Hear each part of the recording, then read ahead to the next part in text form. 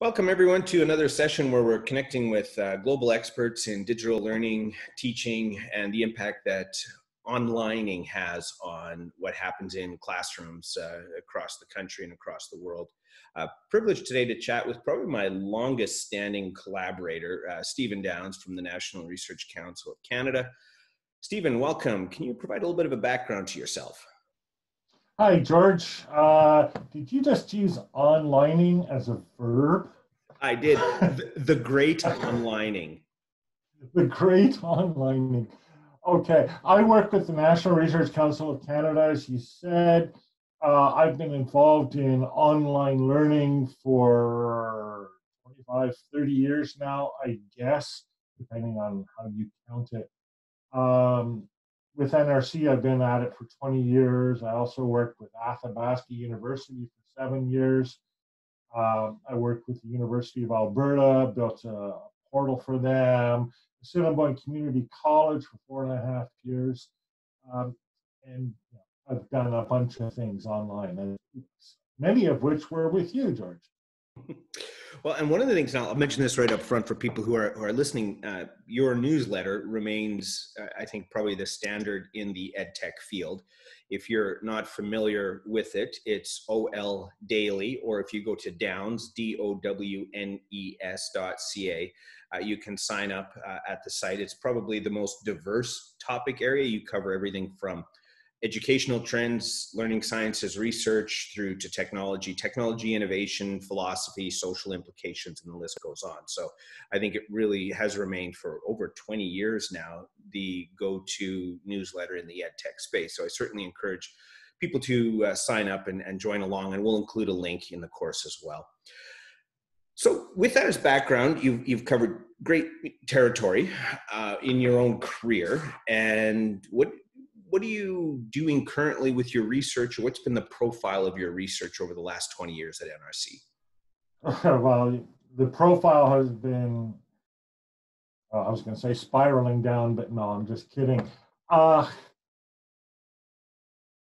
I've always been interested in open online learning, and that's been a theme throughout. I've always been interested in decentralized and networked learning, and that's been a theme throughout. I've gone from learning objects to educational blogging to Web 2.0 to MOOCs you uh, to personal learning environments. Uh, these days, I'm still interested in all of those things, but uh, you know, more recently, uh, I've gotten interested in some of the uh, Web3 uh, decentralized technologies, including but not limited to blockchain and stuff like that. We could talk about that. People wave their hands at it, uh, but there's some interesting stuff there. I'm also in the middle of writing something called uh, Ethics, Analytics, and the Duty of Care. Uh, I call this my accidental book project because I intended for it to be a paper, but uh, just listing out the issues involved is a paper length section uh, of that work. So that's been interesting to me. And of course, I've been a part of the great onlining, as you call it. And it hurts to say that word. yeah, it, it does. But, you know, and that's one of the things that with your background and, and your background has, has uh, you know, you, you've got a profile in many different spaces, which brings together, I think, an interesting confluence of expertise. And the experience, on the one hand, you are with, have been inside the academy. You are now mm-hmm. with the National Research Council. So you are still very much part of what you would call sort of a traditional research enterprise. And yet, a good portion of your work has also been about agitating toward change that moves some of the ability for control and influence to the individual to the individual mm-hmm. student and the individual learner i know just a couple days ago on your newsletter you uh, had, took issue with someone who had stated that you know this onlining needs to be constructive planned and focused and your response is no no like these tools give power to individual people it's messy it's chaotic you learn wherever you learn however Uh, can you talk a little bit more about that? Because the faculty here are in a similar position. They're in an yeah. enterprise that requires them to assign a grade at the end of a semester. And yet, much of the technologies that they're now introducing to their students do the opposite. They give the students control to fragment and to be wherever. How do you reconcile those two, the chaos that of the space that you're well acquainted with versus the responsibility to a system that asks for a grade? Well, a really good way to think of it, and, and I've thought about that quite a bit in the last few days because in the last few weeks, because you know, as soon, as soon as everybody went online, the people who had always been there went, oh no, oh no, you can't do that. No, no, no, only experts can teach online, which is a ridiculous thing to say. And the way I frame it in my own mind, especially if I'm speaking to professors, faculty, uh, you people have gone through, uh, I sound like Don Cherry, uh, have gone through bachelor's, master's, PhD programs. You have experience teaching. I doubt very much that any one of your classes that you go teach for, you spent four years writing that class. In fact, it's a ridiculous proposition, isn't it? What it what happens is all of your life preparation is enough that if you had to, I'm not saying you did, but if you had to, you could walk into that classroom cold and wing it. And that would be a perfectly good class. Now, none of you have ever done that. I know that. I, you're, you're professionals and you've never walked into a classroom unprepared. But all that background does give you that capacity. Online learning is a lot like that. Um, I can come online, you know, uh, with, uh, you know, I can come into a room, into an environment, whatever, with my computer and my background knowledge, sit down. Somebody says, I want to do such and such. Well, I pull this tool out, I pull that tool out, and bring something together, as I said in the post, like a DJ, and it does the job. And it's not a miracle, and it's not impossible, and it's not flagrantly wrong to do that. It's that I have this background and this skill that is the preparation that was needed to do this job. Now, you're coming into online learning. Okay, maybe not so hot in the computer part. I get that. That'll come. Uh, but on the content side, I assume because you're teaching, you've already got the expertise. And that's what people want right? They don't want you to be a wizard on the keyboard. They don't expect al- digital video alchemy. They expect somebody who's really expert in and excited by physics or geography or, God help us, macroeconomics. Just kidding there, macroeconomics is a science. Uh, uh, but you see what I mean? And so know, I've, I've been telling people like, no, you don't need years of, you know, uh, uh, years of course development and million dollar budgets or things like that. If you think of online learning as like TV, well, then you do. But since when have we thought of learning as like TV? It's not that. in fact, it's the opposite of what we want. It's an interaction, it's conversation. That's why there's two of us here on this video, even though I'm doing all the talking. Right, George?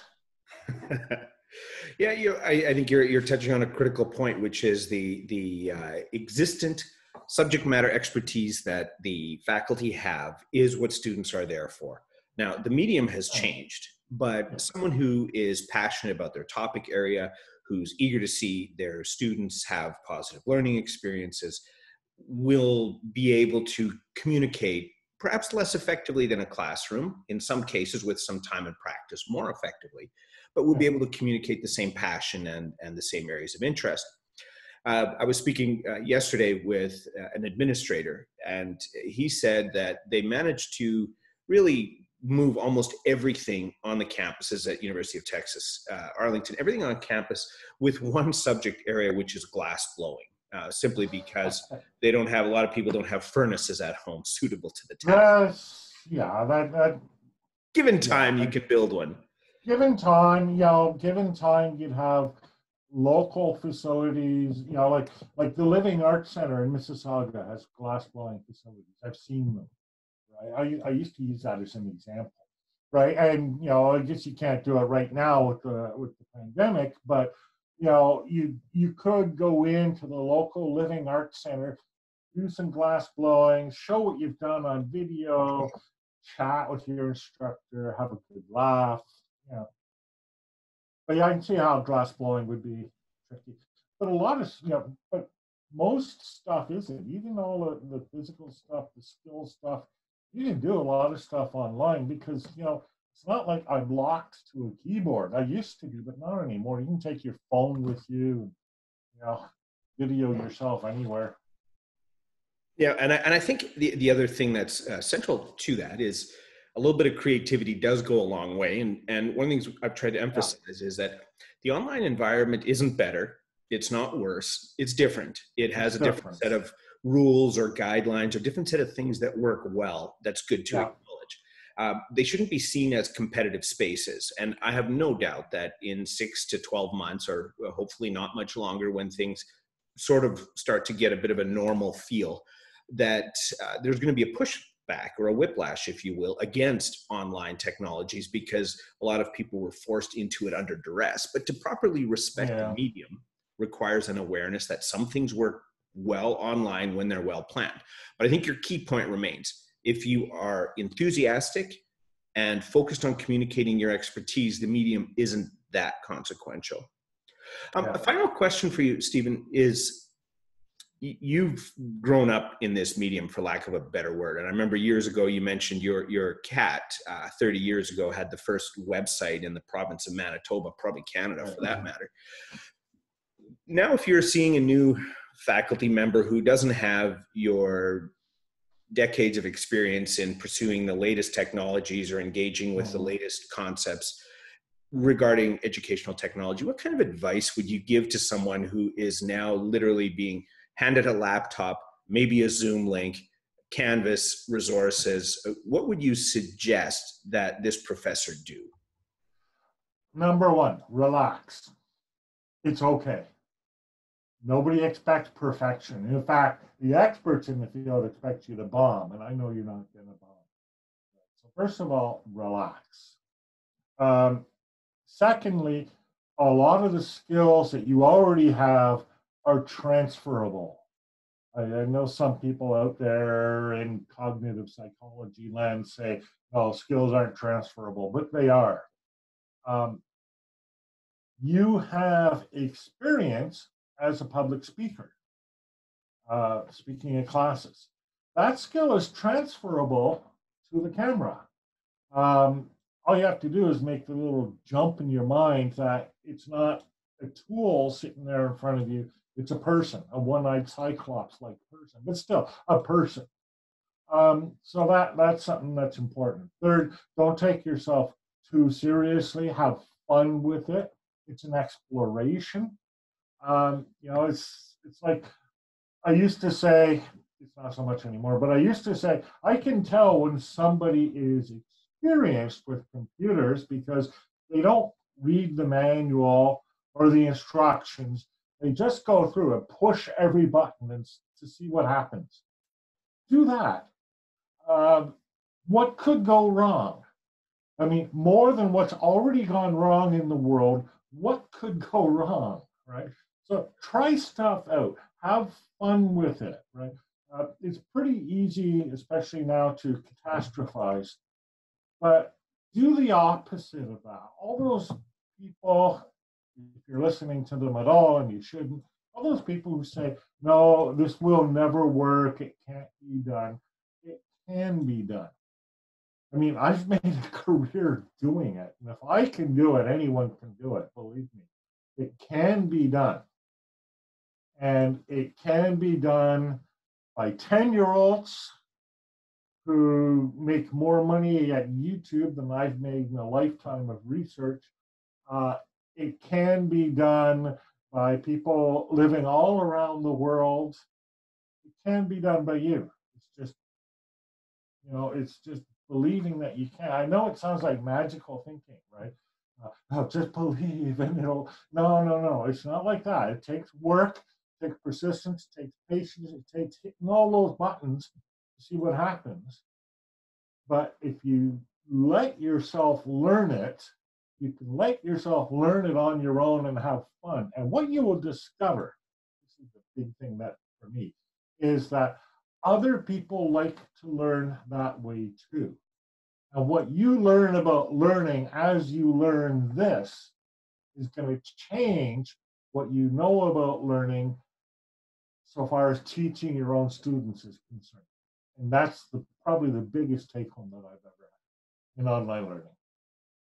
That's a fantastic point on which to conclude because the reality is many of us now have an opportunity to, while it's stressful and distressing, but to really experience some of the disorientation that a student feels when they first uh, get enrolled in, in university programs or when they have disruptions in their own lives. It is not necessarily welcomed, but with the right perspective, it can be a positive professional development and learning experience yeah. in general. Well, that's why I studied blockchain because I wanted to take something completely foreign to me and really hard. Yeah. You know, it felt like to not know anything and still start knowing.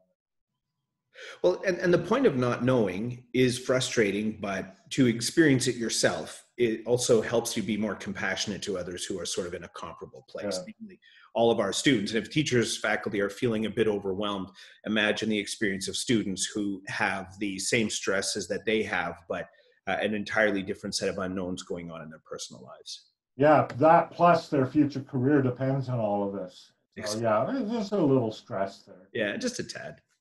Well, Stephen, a real pleasure to chat again. Uh, appreciate your insights. Hope you have a great rest of your day.